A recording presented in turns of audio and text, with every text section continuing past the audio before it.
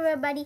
In this video, we have a new Pokemon card, and it's a VMAX, and uh, and I'm gonna I'm gonna see if you can guess it.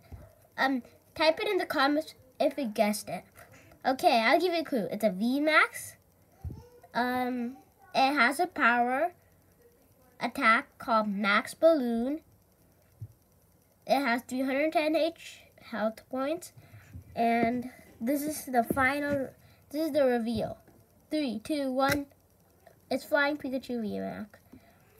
I love, I like this Pokemon because it's shy and it's a VMAX, and this is a new Pokemon card to my collection. It even has this cool top loader, and uh, and on the back it has this cool design, and and I'm gonna add this to my powerful Pokemon card collection. Okay, but, okay guys, I think I'll end the video right here. Also type in the comments if you guessed what Pokemon card I, uh, what new Pokemon card I got.